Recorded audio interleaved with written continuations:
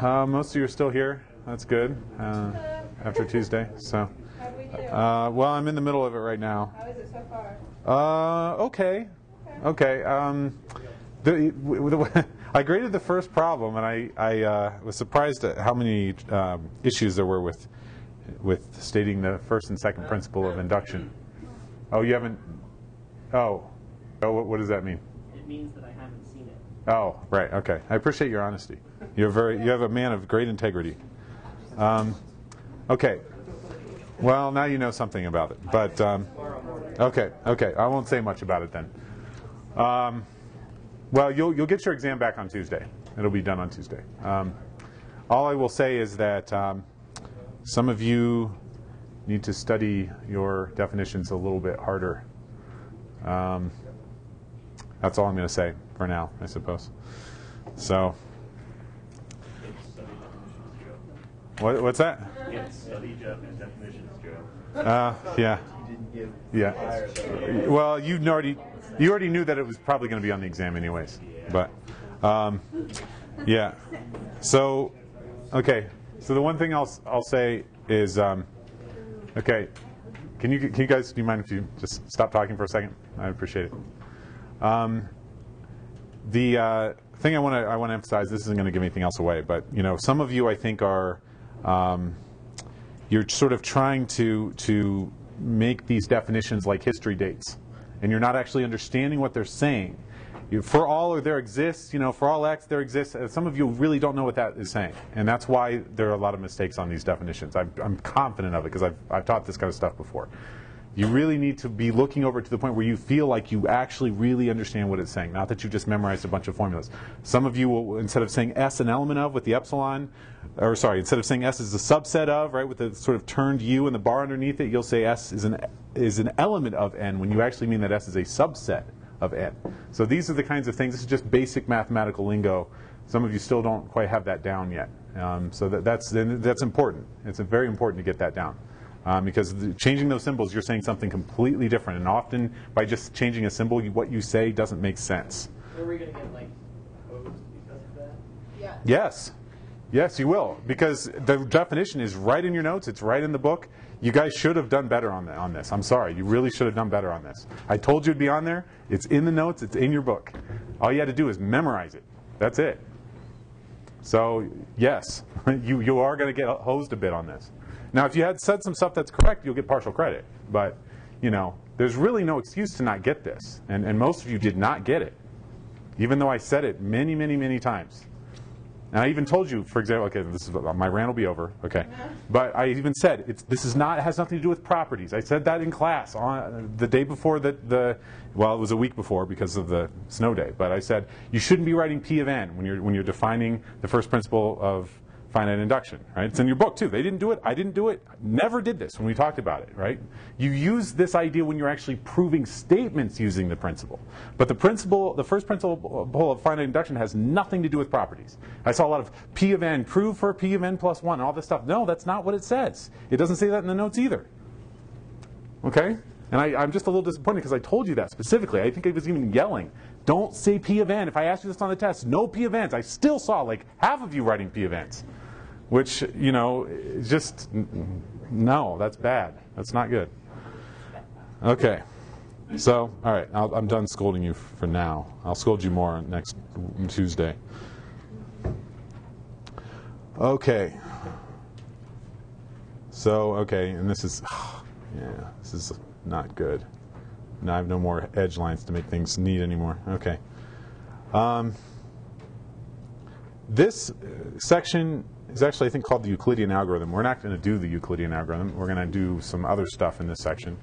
Um, and you, if you knew, well, maybe some of you do know this, but you, you really should be thanking me for not doing the Euclidean al- algorithm in class. It's, it's kind of messy and it's just, yeah, but I mean, to actually write it out rigorously, you have all these, you have all these remainders and things, and then it's just, Do not want to do proofs. no, no. I'm taking away the easy stuff. So, n- well, yeah.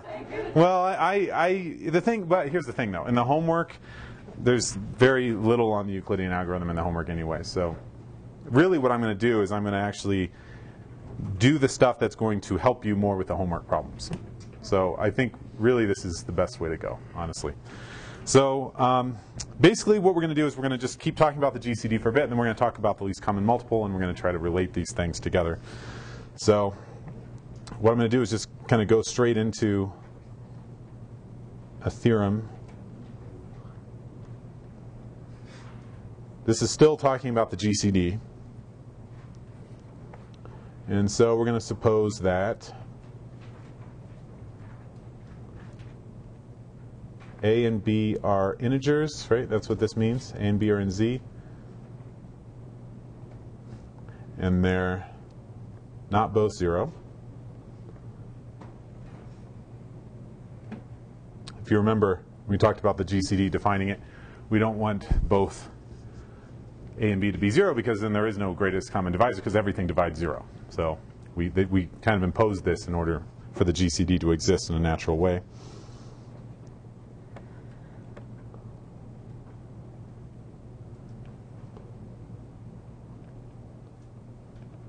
And the theorem says for any um,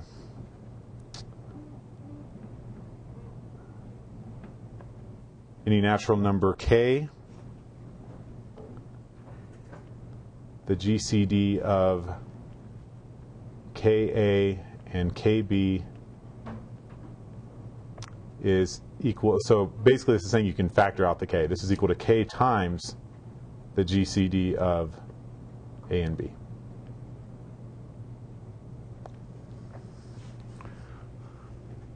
Okay, this isn't that surprising. You have the largest number that, that uh, divides both A and B. It stands to reason that if you want to find the largest number that divides both Ka and Kb, it's probably going to just be K times that number, probably.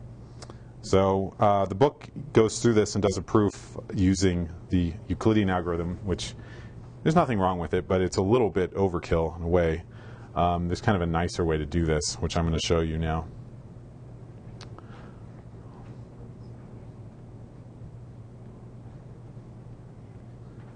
Okay. Um, so what we're going to do is we're going to let uh, D be the GCD of KA and KB.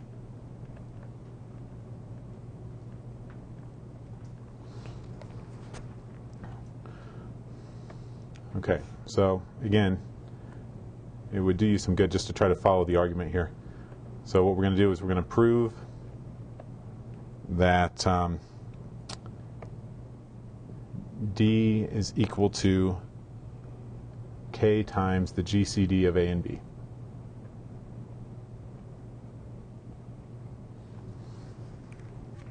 Okay, so I'm going to kind of go through this slowly here.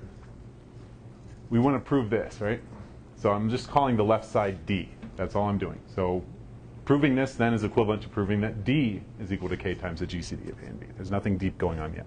Okay, just it's easier just to use one symbol than a bunch of them when you're doing the proof. So I'm just going to call this D.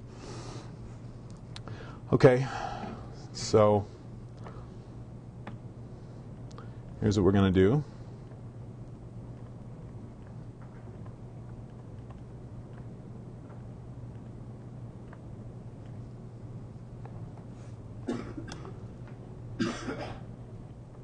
We're going to let D prime be equal to the GCD of A and B.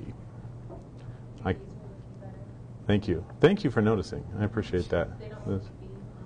That is, I'm really glad about that. Uh, I, I'm going to sleep better tonight knowing that. So, um, so D prime is going to be the GCD of A and B. I could have done this all in one statement, but um, I'm just going to do this uh, gradually. So what is it that we have to show then? Um,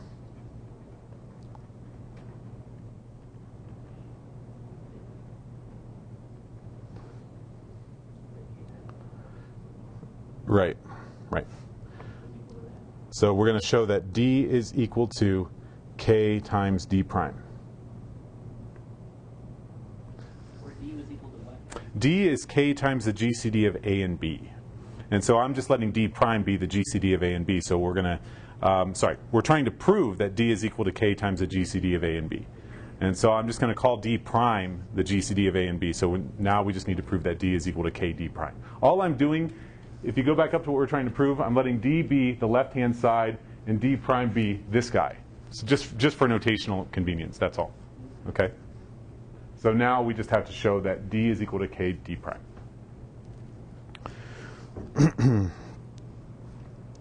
so here's what we're going to do.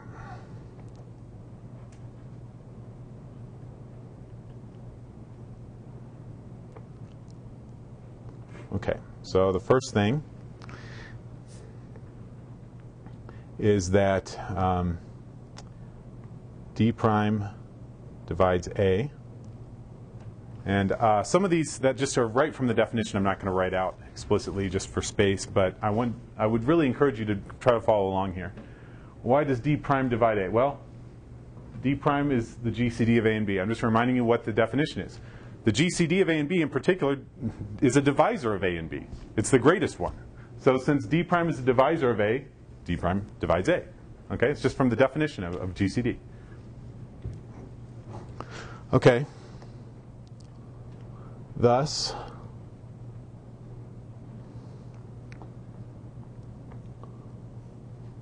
KD prime divides K times A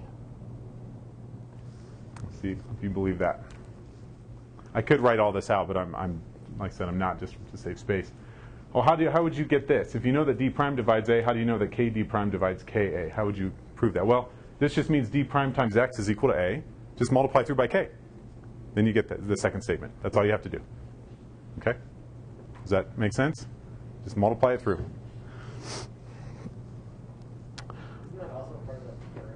Uh, it might have been part of like theorem one from 2-2 or something like that, that if A divides B, then CA divides CB. Yeah, it's probably part of the, the theorem too somewhere, yeah. Uh, that would be my guess. I don't remember off the top of my head, but probably. Um, okay, so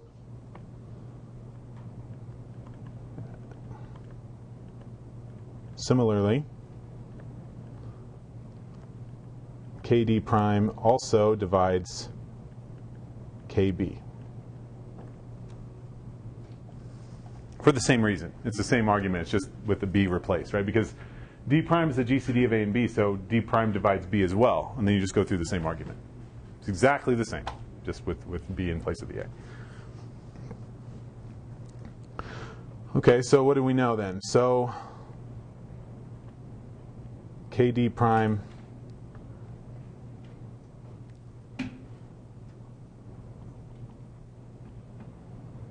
divides Ka and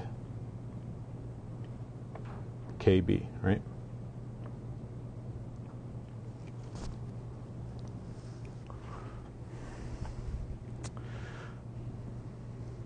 Here's, okay, so there's something you have to think about now for a second. Whatever this is, right, it's an integer that divides both Ka and Kb. Notice that D is the GCD of Ka and Kb. It's the greatest common divisor of Ka and Kb. Since Kd prime is a divisor of Ka and Kb, therefore Kd prime has to be less than or equal to D, because D is the biggest one that divides both.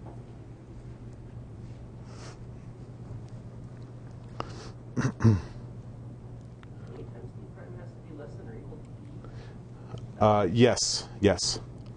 That's what I'm saying, because KD prime is a common factor of Ka and Kb. D, by definition, is the greatest common factor of Ka and Kb. So since Kd prime is, is a factor of Ka and Kb, it has to be less than or equal to the greatest common factor.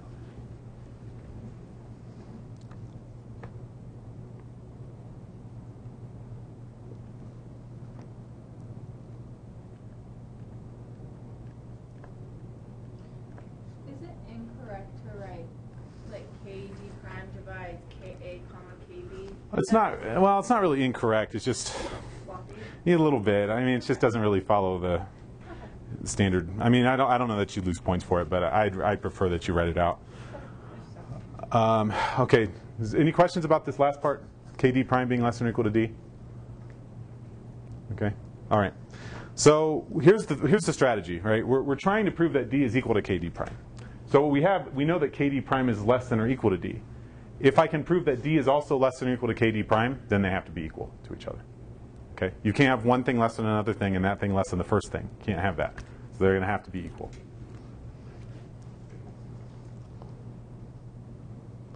Okay, let's see here. I don't know if I can. Can I hide this somehow? Click the little dots to the left where the black box is. Uh, oh, yeah, yeah, yeah, right here. Okay. Up here? Just drag it Yeah, okay, I got it. to the bottom and the top. There we go. There we go. Thank you. Okay, I'll give you some extra credit for that. Um, I'm gonna hold you to that. uh oh. I'm on video too. We get if we teach you how to erase. Yeah. Um, I'm not going to dig myself any deeper than I already am. Okay, so the second thing we, we want to observe is uh, let's note that. Okay, th- there's not much to say here. K certainly divides Ka, and K divides KB. Okay. You guys buy that? How do you know that K divides? Okay, so why is this true? Why is that true? KX equals KY. What's X? It definitely matters. It would be A. A. right? This is K. I mean, just I'm just trying to get you to think about the definitions. Think about what this means. What does this mean? This means that there's some integer you multiply k by to get ka. Well, obvious. A. K times a is ka. And same thing here. That's why k divides kb. I don't want you to just just sort of memorize this vertical dash. I, I want you to, when you see it, go, what does that mean? K divide. We're saying k divides kb. So what do we multiply k by to get kb? B. Okay? I want you to think, try to think about this. Some of you really need to ha- have practice, really associating meaning to these things. So why, if you're formulating and you wanted to equate it, like Mhm. have Ka equals Ck, Mhm. like then you could say that C is A, and that's how you. Well, I mean, you're making it overly complicated. You don't even need to introduce this third auxiliary variable. It's just simply this: k times a equals ka. So by definition, k divides ka. That, you don't need a c. You- There's no reason. You know, it's sort of like saying, you know, let me call this x. Then x is, you know, messy. I don't need to do that. I can just say it's a rag that's messy. You see what I'm saying? Yeah. That's also, I'm glad that you brought that up, though. I, I see, still seeing a lot of you do this. A lot of you are throwing in, you, you want to throw in as many variables as you can. When you're doing an induction proof, let n equal k, and then let's prove it for k plus 1. But I don't like, let's call it k prime now. There's no reason to do that. Just stick with 1. It just makes it so much easier. Now, the, the, I've kind of fault the author for this in part because he does this a lot. He'll change variables 8,000 times in a proof for no reason. Um, but you don't, you really don't need to do that. The discrete book does it too. Yeah, well, they suck. There's no reason to do that. There's just it's just confusing for no reason whatsoever. Especially at this level, it's really bad for them to do this. Change variables, like simple. Change horses discrete, and it happens here and in discrete both. Yeah, That's where I picked it up from. right. Well, it is what it is, unfortunately. But uh, okay. Here, I, I want you to think about this too.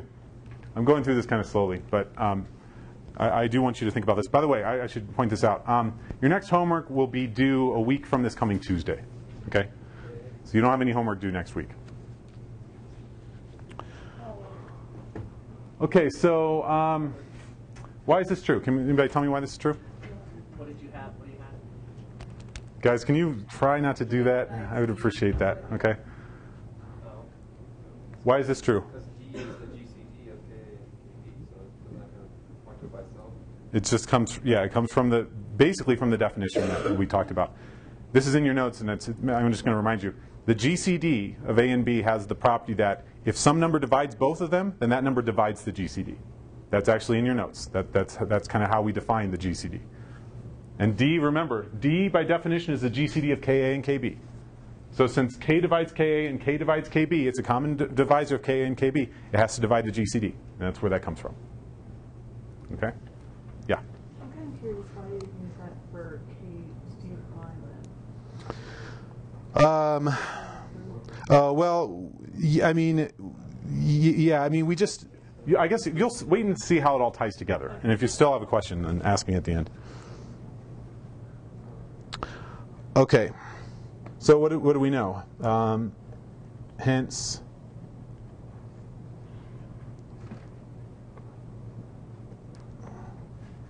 k times alpha equals d.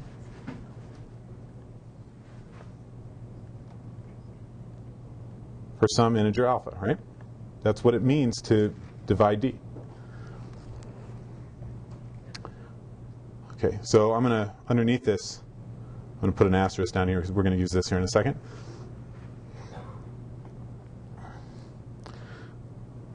Okay. And since D is the GCD of Ka and Kb, we know that D definitely divides Ka. I'm, I'm doing this. This proof may not be this, the most streamlined. but I'm doing this because I just want to remind you of all of these things. Okay? Definition, right? It's the greatest common divisor. In particular, it is a divisor of both of them. That's why D divides Ka. Okay?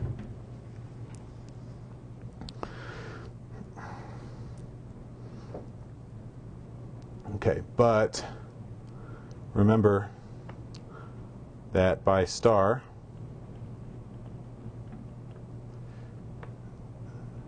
D equals K alpha. So K alpha divides Ka, right? And that's just coming back from, from over here. Sorry, I should move this a little bit. Bless you. D divides Ka, but remember that D is equal to K alpha, so K alpha divides Ka.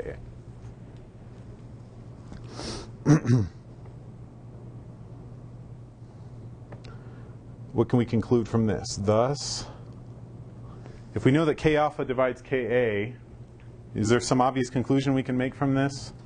I mean, this is vague, but what, what else? What can I say as a result of this? It has to do with alpha and A. Alpha divides A, because you can just cancel the k's out. If k alpha divides ka, then that means k alpha x equals ka for some integer x. You can cancel the k's. You know k is not zero, right? Because we're already assuming that for any k and n, remember what n starts: 1, 2, 3, 4, 5. k is not zero, so we can cancel it out. Okay? So alpha divides A. And you can do the same kind of thing. Um, you, you, can play the same game to conclude that alpha also divides B, right? Because D divides both Ka and Kb. So if we do the same argument with D dividing Kb, you, you're going to get that alpha divides B.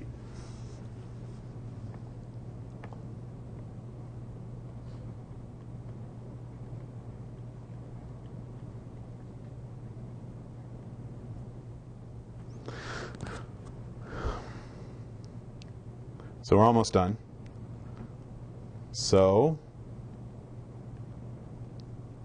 I'm running out of room here, but so if we know that alpha divides A and alpha divides B, what can we say? Um, let's see, what do we do? We let D prime be the GCD of A and B, right? It's the greatest common divisor of A and B. Alpha is a common divisor of A and B. D prime is the greatest common divisor of A and B. So alpha is less than or equal to D prime. Okay?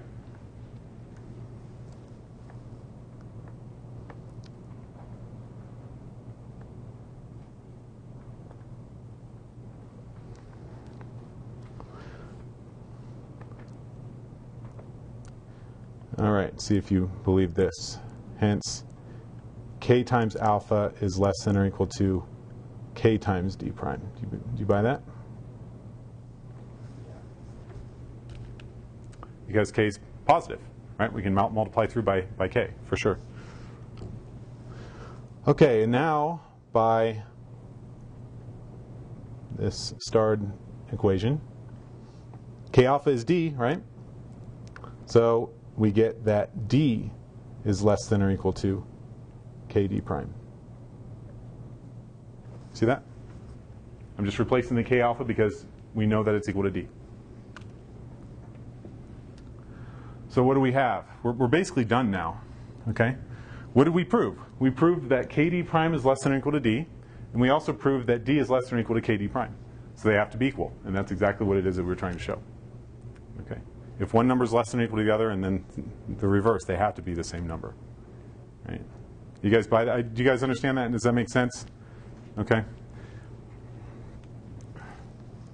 So that's that's it. One and one and two, give it to us. Are you just gonna combine like your KD prime is less than equal to D is less than equal to KD prime therefore, or? Um, yeah, let me say let me say something more about that here in a second.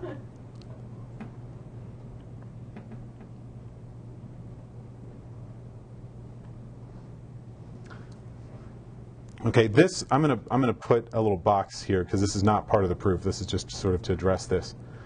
Um, you don't even need to write this down. Okay, but suppose you have real numbers a and b, and suppose you know that a is less than or equal to b, and b is less than or equal to a.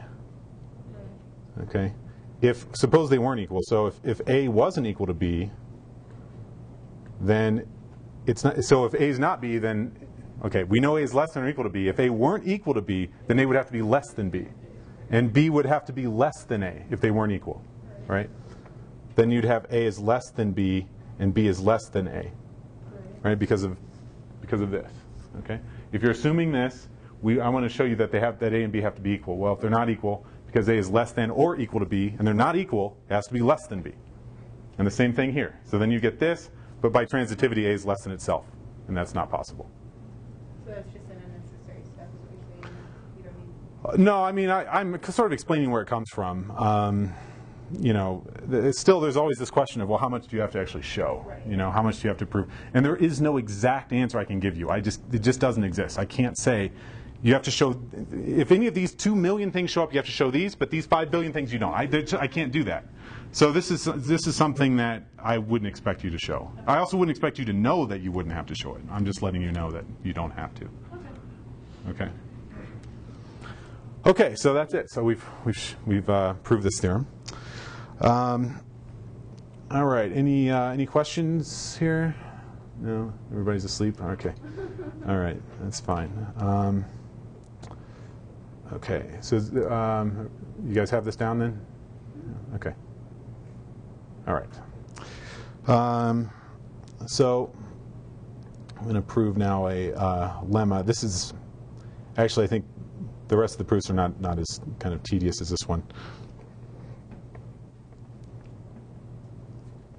And this is sort of a corollary, but um, a and b are integers which are not both zero.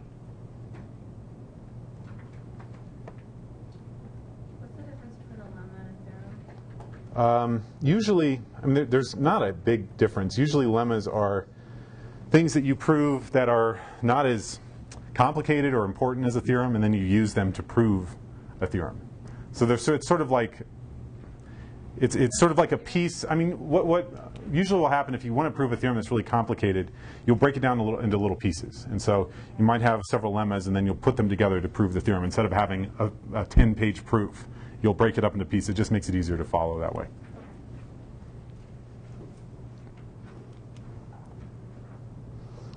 Okay, and this, I don't think you're going to have a hard time buying this. Um, the GCD of A and B is equal to the GCD of minus A and minus B.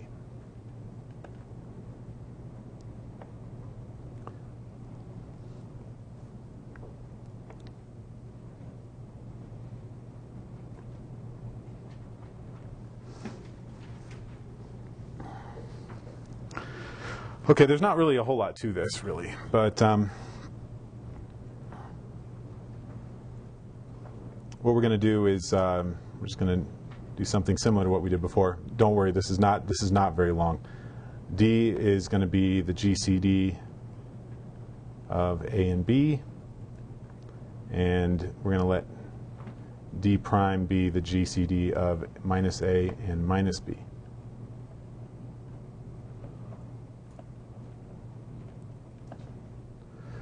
Okay, and now I'm just, in fact, I'm not even going to do the whole proof. I'm just going to do part of it.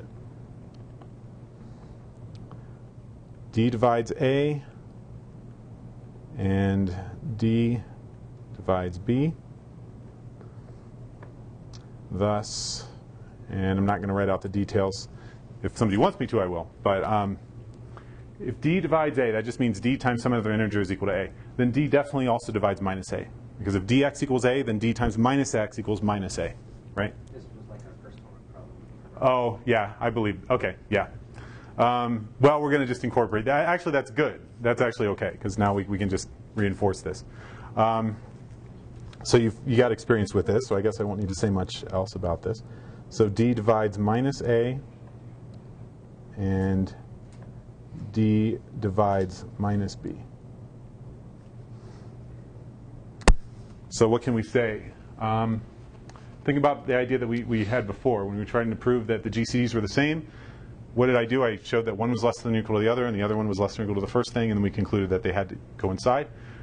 So because it's the same thing as before. Since d is a, a, divisor of minus a and minus b, and d prime is the largest divisor of minus a and minus b, that means that d has to be less than or equal to d prime, because it's the largest one, and d is one of them. So if you do the same thing the other way, you get that d prime is less than or equal to d, and you're, you're done, and that's it.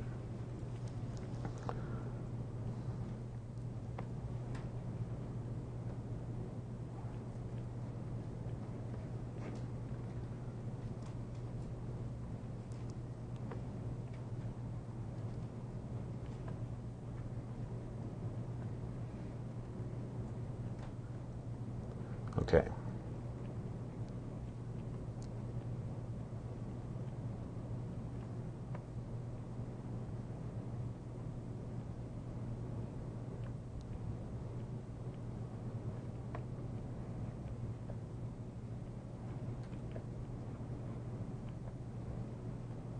Oh, that D was really bad. I'm regressing now. Okay.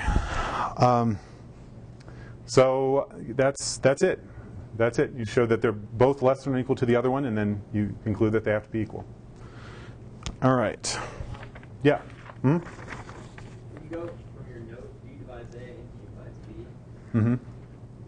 why are you using d divides minus a instead of writing d prime? Oh no, because that's that's what I that's what I want though. Because I mean, it's it's true that d prime divides minus a and minus b, but what I really want is that d divides minus a and minus b. So because d divides a, and as I said, whatever you have to multiply x by to get a, multiply minus x by it to get minus a.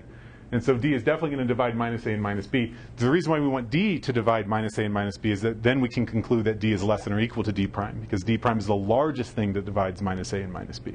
That allows us to conclude that the first one's less than or equal to the second one. That's why we want the d there, so we can get that it's less than or equal to. Then we flip the argument around, so we get d prime is less than or equal to d, and then we conclude that they're the same. What you're saying is definitely correct. It's just that we want the d there so we can get the less than or equal to in the proof. Is this okay?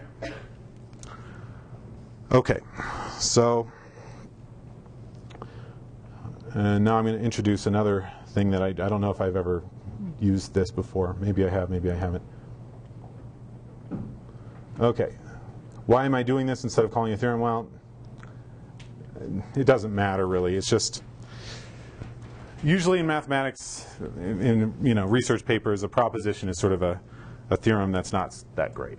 A lemma is a theorem that's really crappy. A proposition is okay, and a theorem should be something that's interesting. Um, okay, so now we're going to let uh, a and b be elements of z, uh, z rather, sorry.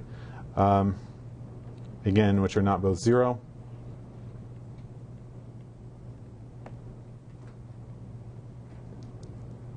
And again, the reason why I do this is because otherwise the GCD is not defined.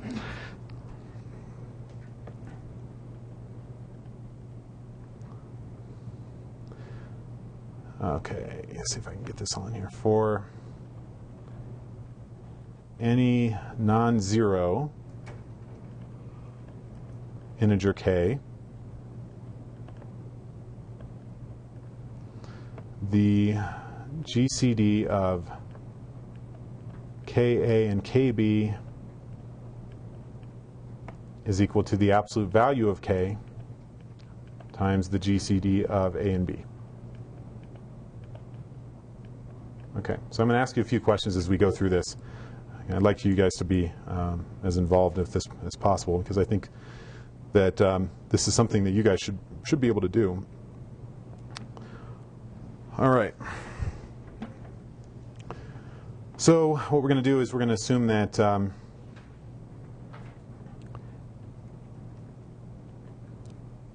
let a and b be integers. We're going to assume um, that they're not both zero.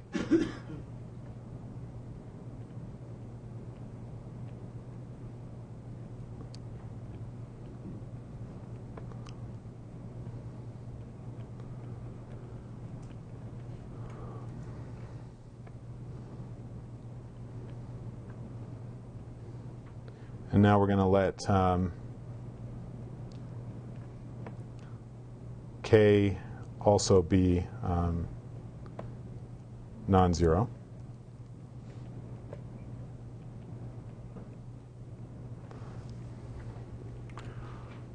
Okay, so we want to prove this, and what we're going to do is we're just going to consider two cases. k is not zero, it has to be either positive or negative, right? So we're going to just look at these cases separately, and um, this will fall out pretty pretty quickly.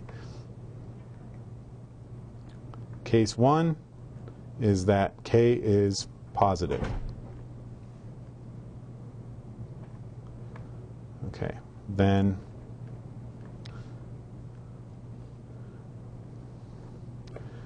the GCD of KA and KB. So how can we proceed with this? We want to show that it's equal to that. And there's hardly anything to do. We've basically already done it. Um, think back to what we did in the beginning of class today. Um, this is equal to k, right? Right, it's equal to k times the GCD of a and b. This was what, what theorem one, right? Or is it was it theorem one? Okay.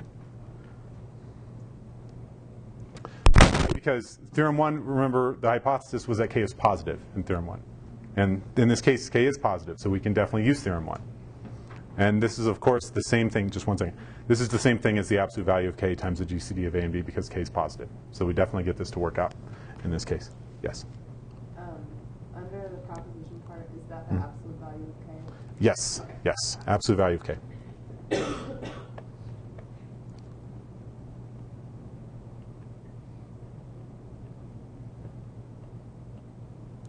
okay, I'm running out of room here. Um, but if you wanted to write a note beside how I got this, it's just because we're assuming k is positive, absolute value of k and k are the same thing since k is positive. I'm just running out of room, but that's, that's why.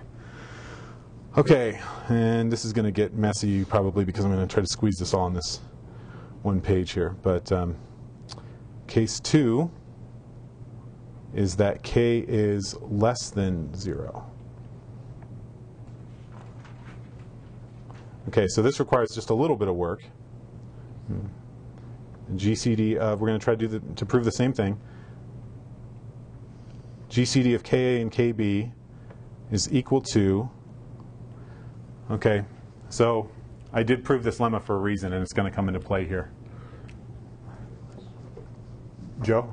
Can you use that, um, that definition, for this, can you use that definition that you had at the beginning of class where you said that if you had a GCD of minus A minus B, Hmm.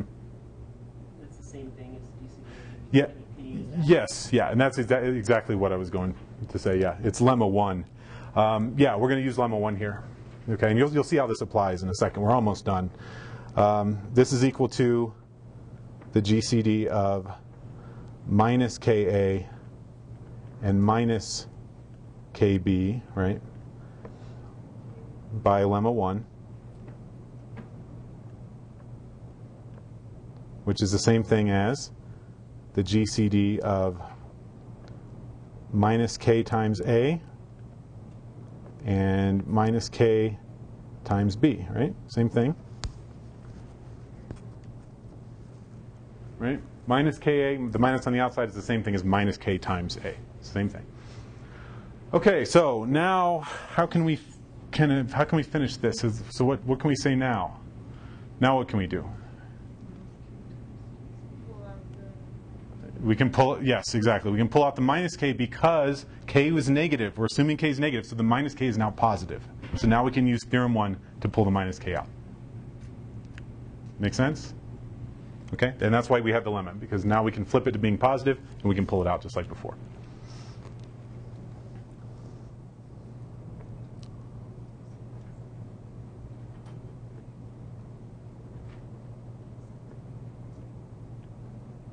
But we're not completely done. There's still one other thing we have to know, right? Because we're trying to prove um, we're trying, trying to prove this. So we almost have it, but really what we want, though, or what we need, I should say, is that minus k is actually the absolute value of k, right? Why is that true? Because k is negative, right? Remember what the absolute value does to a, to a negative real number. It just erases the negative, essentially, makes it positive. Since k is already negative, that minus will flip it to being positive, and that's exactly what the absolute value does. So if you had skipped the bottom left part and you Mhm. just jumped to proving the absolute value Mm-hmm. of k is negative k, Mm-hmm. is that wrong? Well, but you still need, I mean, you still sort of need this, right? Because right here, um, I think he means the middle one. Oh, you mean, oh, are you talking about this? No, I mean like from case one, you know that k times GCD of a and b Mhm. uh, equals the absolute value of k, Yeah, yeah. and you know how absolute value works. hmm But the thing, but, but here's the thing though. We can pull out the k though because k is positive. In theorem one, k has to be positive in order to pull it out. So since k is negative, we can't just pull it out. We have to put use the lemma to make it positive first and then pull it out. And then we say because k is negative, minus k is the absolute value of k. You, you really, I don't think you can really get around any of that. Okay. Okay. All right. So yeah, sorry about things getting all squished up here, but um, this is the end of the proof. So the, this is the absolute value of k times the GCD of a and b. And again, I'm running out of room. I apologize. If you want to put something, you know, in your notes to remind you why this is true, it's because k is less than zero. That's why minus k is the absolute value of k. Is this okay? Of course, you guys learned this a long time ago. I think you guys are probably fine with this. Okay, so this gives you a very nice way of, if you know the GCD of, of two numbers scaling through, you, you can just sort of factor out the absolute value of that scalar and you're, then you're done. Um, so it allows you to sort of know what the GCDs of other things are without having to go through all the computation. Okay. So, last thing we're going to talk about, if everybody's got this down. Okay. We okay? You guys okay? All right. And this is not going to be um, nearly as, as painful as it was before. Um, sorry, let me move this around here. I'm going to call this a, a theorem, although it's there's not much to it really.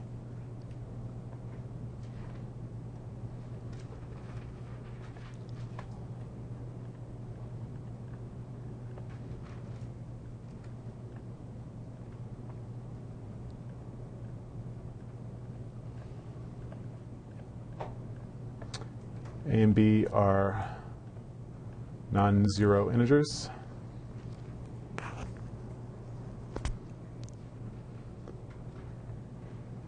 Then there is a least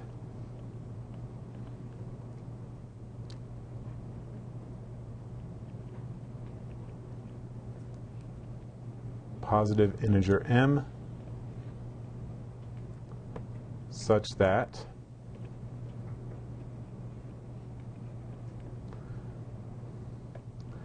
a divides m and b divides m.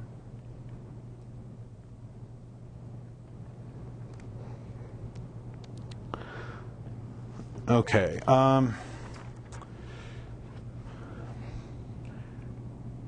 because of time here, I'm, I'm thinking I may not write the proof down. There's really nothing to this um, proof.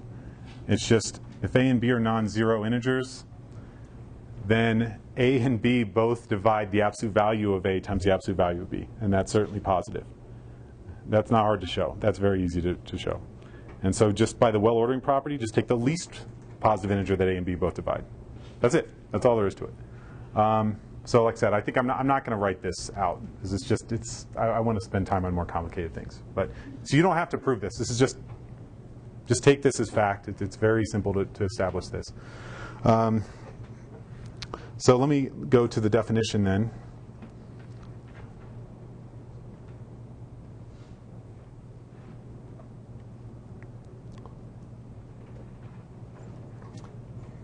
And you've also seen this before.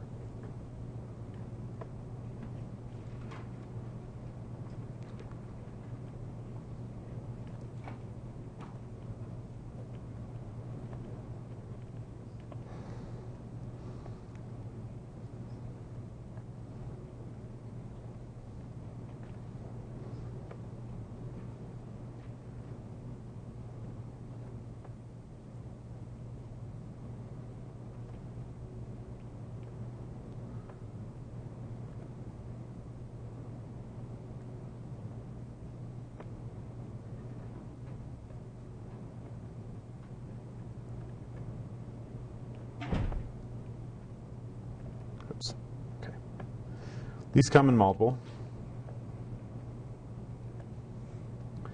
So this is denoted LCM. And this is simply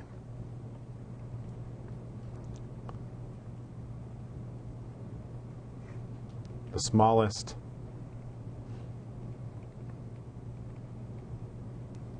positive integer m such that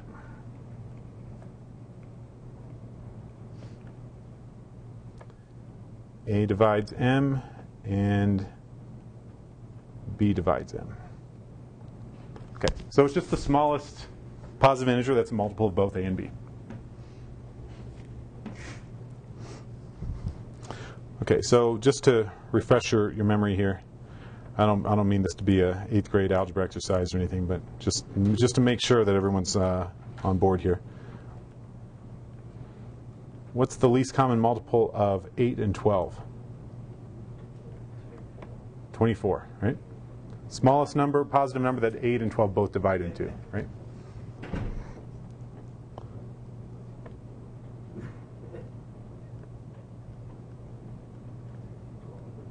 What about this? Uh, sorry. Least common multiple of minus 6 and 7. Okay, I'm going to call your ninth grade algebra teacher if you if you don't get this right. My, uh, minus okay. You, apparently, you really like your your uh, your algebra teacher. Um,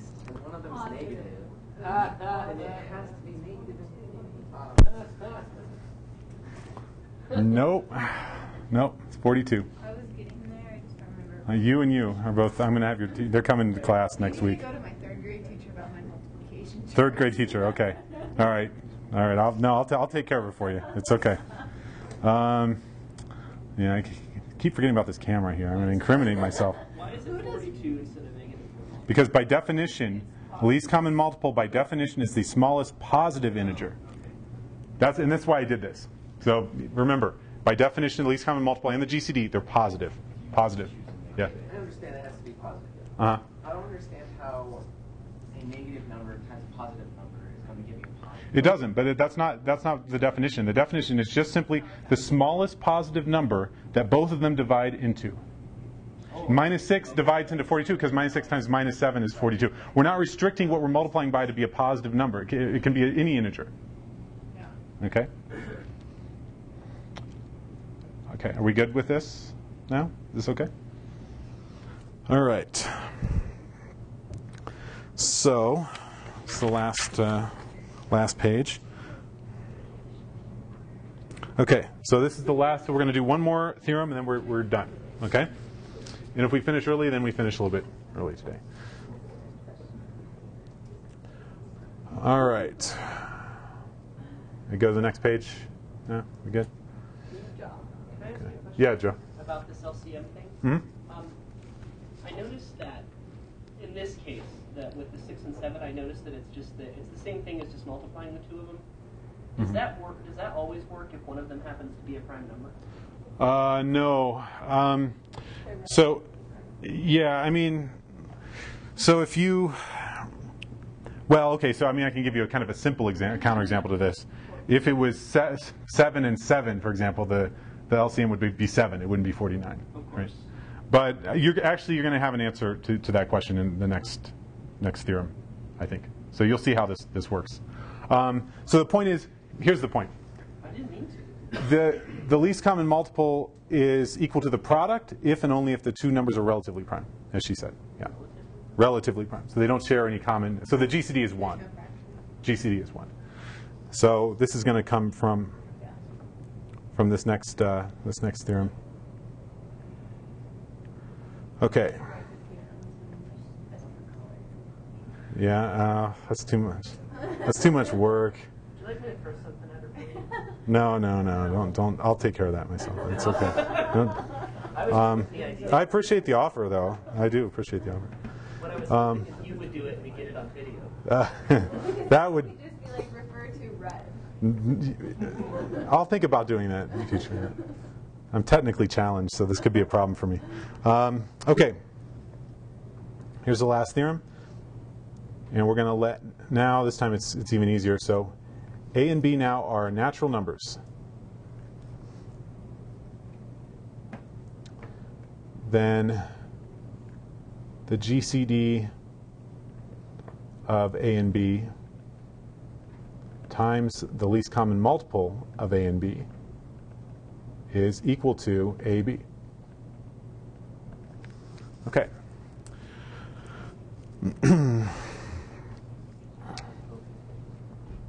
so,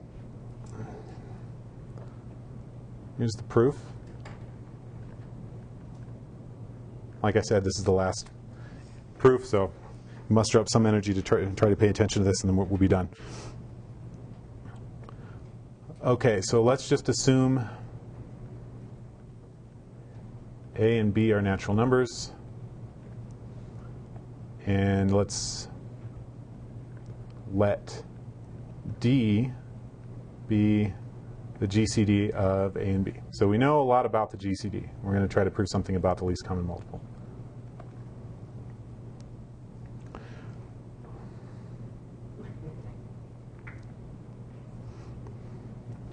So here's what we're going to prove.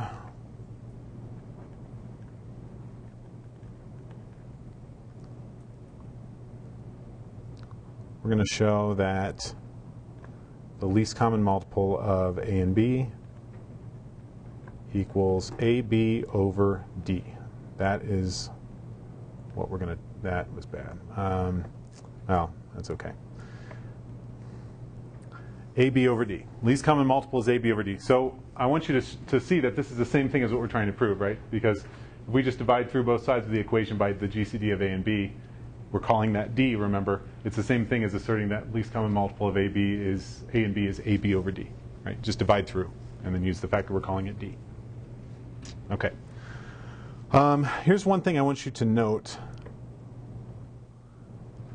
which I'm not going to really justify in detail, but um, AB over D is definitely a natural number. It's a positive integer. In order for it to be the least common multiple, by definition, it certainly has to be a positive integer, right? That's how we define the least common multiple. In particular, it has to be a positive integer. How do we know that AB over D is a positive integer? How do we know that? Anybody? Joe? Because D was the GCD, right? G, D is the GCD of A and B, yes. Because we know that um, we know that D divides A and D Mhm. divides B, and A and B are integers. hmm So if you do A times B, you get an integer, and D has to divide that. Yes, that's, that's right. And because they're all positive, right? Remember our assumption is that A and B are natural numbers. Remember the definition of natural number, 1, 2, 3, 4, 5, right? They're all positive. So AB over D is, is also positive because A and B are positive, right? And D is a common divisor of A and B. D is a factor of A. So this is certainly, a, it's, not a, it's not a proper fraction. It is actually a whole number. Right? So we're just going to prove several things here. So the first thing, what do we need? And this is the reason why I'm doing it this way is because I really want you to think about the definition of least common multiple. So uh, we're claiming that AB over D is the least common multiple of A and B. So one thing ha- that has to be true. There are three things that have to be true in this for this to be the case, aside from it being a positive integer, which we already know. One is that AB over D has to be a multiple of A and a multiple of B. And it also has to be the smallest one that's a multiple of A and B. So there are three things we have to check. One, we need to know that it's a multiple of A. Two, that it's a multiple of B. And three, that it's the smallest multiple of A and B. So that's what we're going to prove. So the first claim is that A is a factor of AB over D. So in other words, A times some integer is AB over D. And there's not much to this. Note that A um, times B over D, of course. Th- this is so simple, you you shouldn't even be thinking very hard about this. You guys buy that? A times B over D is AB over D? How do we know that? Does that im- immediately imply that A is a factor or that A divides AB over D? No, because what if B over D was a half? It has to be an integer, right? It has to be an integer. But Yes. we just that D. Yes. therefore it's integer. Yes. Yes. I'm just trying to get everyone to think this way. But I want you to I want to be very clear on this. This is a common mistake that you might make in your homework. Just because you, you say you want to prove that A divides B, and just because you know that A times something is B, that does not mean that A divides B. Within the real numbers, you can always do this, right? A times B over A is always B. So just knowing that you can multiply by something to get B does not mean that it divides. Everything has to be an integer. Everything has to be an integer, right? Because you could prove that 2 divides 3, right? 2 times 3 halves is 3. Oh, therefore 2 divides 3. No, it doesn't, because 3 halves is not an integer. You need it to be an integer. So be very careful in your homework. That's a common mistake people, I've never taught number theory, but I'm sure that that's the case, that you're going to make, is not really realizing that, what you, that you need to know that what you're multiplying by has to be an integer. That's very important. Yes? Would it be safe to represent, safe, or I should say to represent B as, um? Right, sure. Yeah, and we're actually going to do that here in a, in a, in a little bit. Um, and, but I'm just going to write it out in words just because I want to I want to emphasize this really in words. And b over d is an integer since d divides b. That's the important part.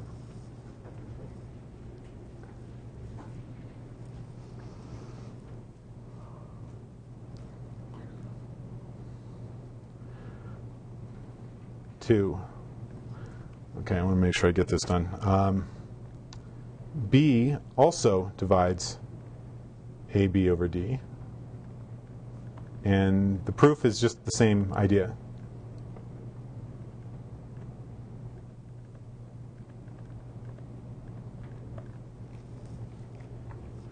In this case, you just say that B times A over D is AB over D, and D divides A, because D is the GCD of A and B. So it's the same proof. It's the same argument. It's just you're flipping the letters around.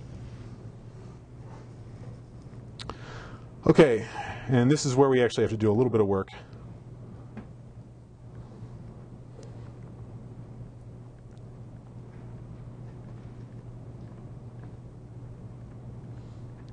Let's suppose now that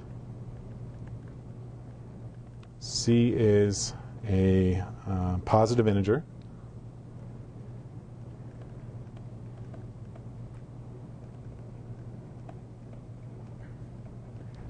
And that A divides C and B divides C.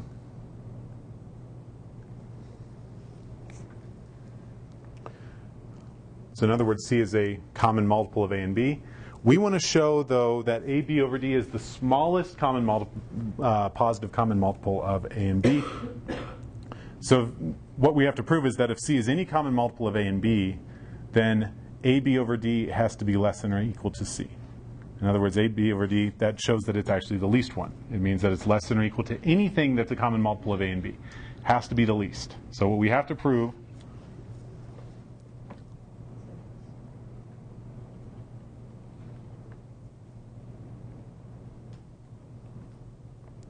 we need to show that AB over D is less than or equal to C. And I, I want you to, to pause for just a second here. And I'm going to just kind of reiterate what I said before. C is positive, and C is a common multiple of A and B. We are trying to establish that AB over D is the smallest possible one. So since C, we're assuming is 1, we need to show that AB over D is small, less than or equal to it. That shows that it's the smallest possible one. Okay. so, and it's just going to go like this. Since A divides C, AX equals C for some integer x, right?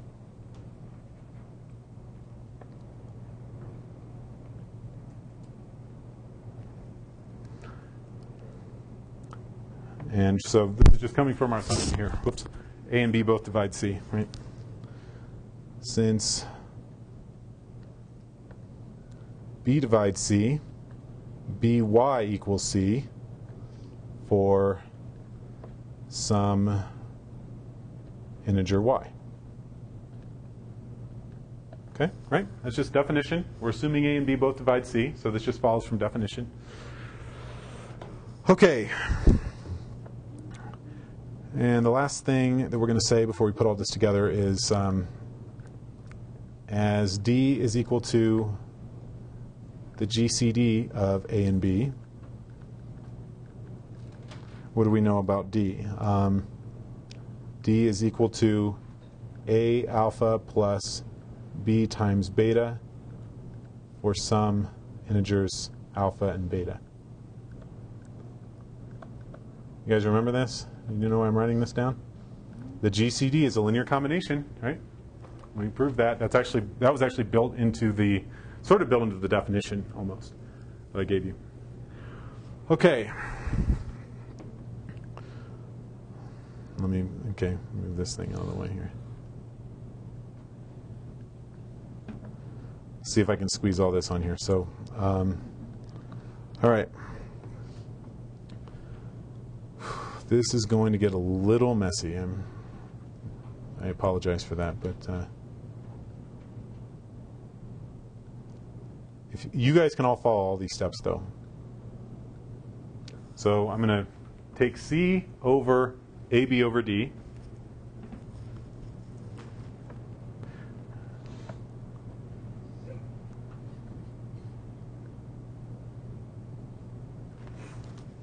I'm doing this for a reason. No, no, no, no. This, this is this is the clearest way to, to, to do this. Okay. Um, you'll see uh, here at the end why I'm doing it this way. So how do you do this? C divided by a fraction, you just flip flip and multiply, right? You guys know that, right? So you just multiply C by D over AB, and you get this. Okay. Um, okay. So this is equal to C times A alpha plus B beta, right? Over AB. You guys see where I'm getting this now? I'm, I'm, sorry, I'm running out of room here, but D is A alpha plus B beta, so I'm just replacing the D with this. That's all I'm doing. Okay? It's equal to that, so it's just going in right there. Okay, so this is, if you distribute, this is C A alpha plus C B times beta over AB, right?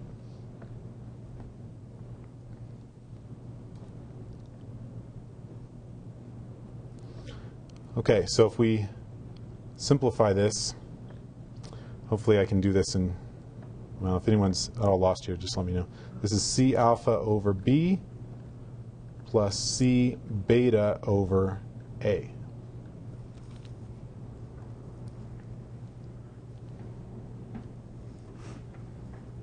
You see how I got that? We can just split the fraction up into two pieces. We can cancel the A out the first piece, that's where the C alpha over B comes from. And the second piece, we can cancel the B out to get C beta over A.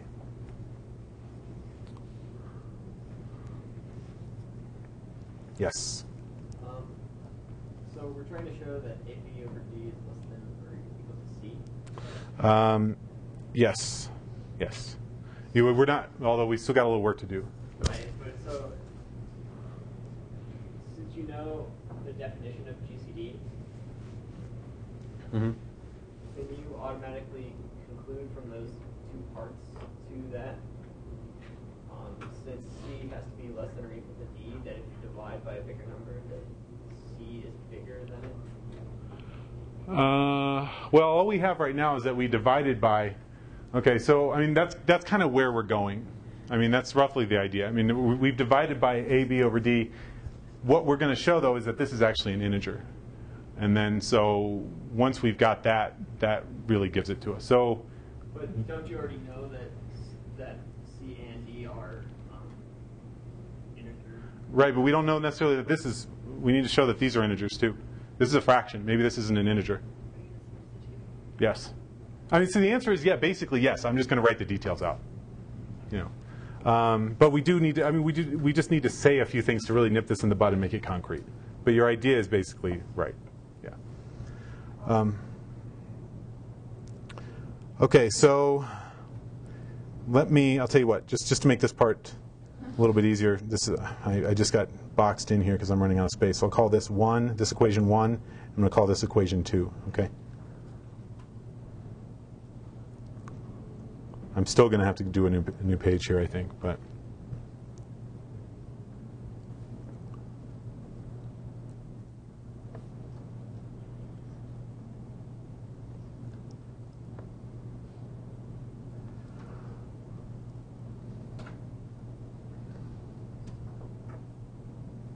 Okay, so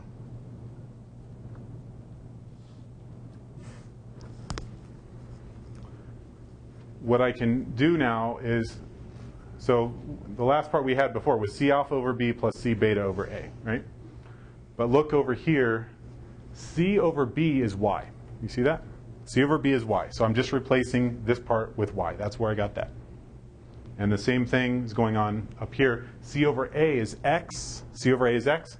So I'm replacing the C over A with X to get XB over, X beta over there. Does that make sense? Okay.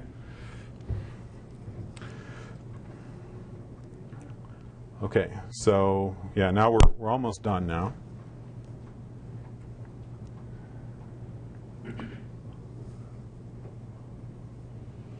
Okay. Am I, can I go on here? Almost done, almost done, okay.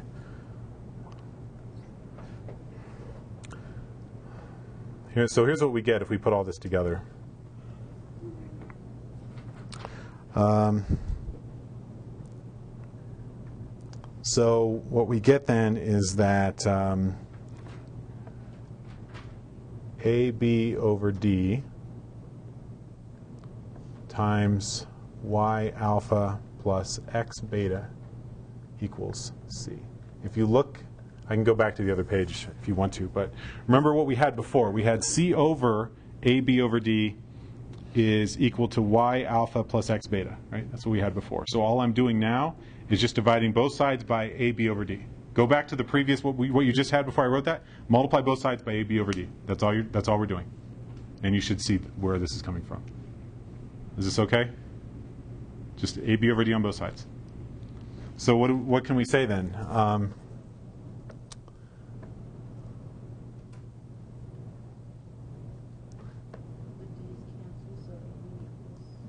Well, we don't even need to, to say that. We just know that AB over D certainly divides C, right? These are all integers, right? Y, alpha, X, and B, these are beta, these are all integers. So this, this product in sum is certainly an integer as well. So AB over D definitely divides C.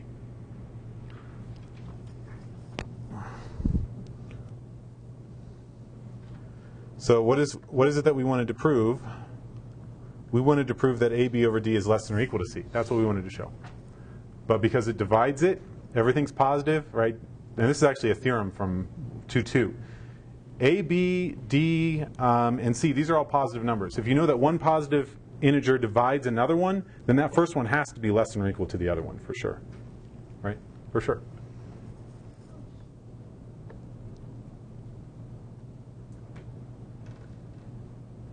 And if you want some um, justification for this, this is also just theorem 1 of section 2.2. When I say theorem 1, I mean according to the, my labeling. Um, part F.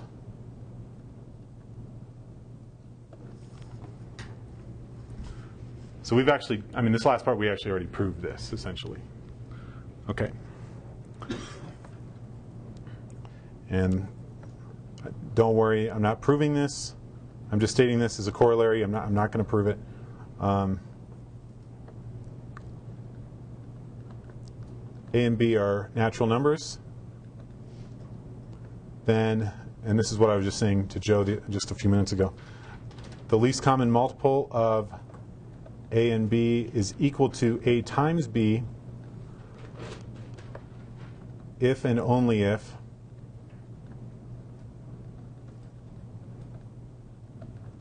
the GCD of A and B is 1. Which anyway, because Mhm. the D term is now one, so.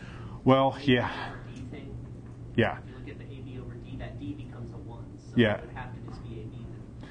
Yeah, so, right, so the idea here is just that, you know, the GCD is small as possible, of course, when two integers are relatively prime. And so if they don't have anything in common, then that makes the least common multiple as big as possible. If you think of prime factorizations, it sort of makes sense. The prime factorization of A and B, they don't have any primes in common. So the only way for, if you have any, any common multiple of A and B, it's going to have to be all of those primes together because there's nothing in common. So that's sort of the idea. Um, Okay, so I think I will stop there. Let me give you, I'm going to go ahead and uh, give you the homework. Again, this is not due until a week from Tuesday, right? So you've you got plenty of time to, to start on this, but let me go ahead and give this to you.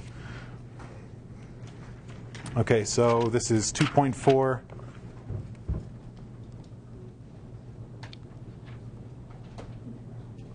Okay, so I'm not giving you a ton of uh, problems here. So this 3, 4a, 5A, 6, 9, and 10A. I should tell you that you will almost certainly have one more assignment that's going to be due aside from this also next Tuesday. Okay, so we'll talk. We'll start talking about new stuff next week. So whatever I do- on, on Tuesday, that will probably be due as well. So you'll still have another week to, to finish it. And you'll get your exams, just to be clear, you'll get your exams back on Tuesday. You'll get your, your previous assignment back on Thursday. I'd rather not pass all that back in one day. So the exam will be Tuesday because I assume you want to get that back probably more than your last homework. And then the homework will be Thursday, and then the next Tuesday will be your next assignment. Okay.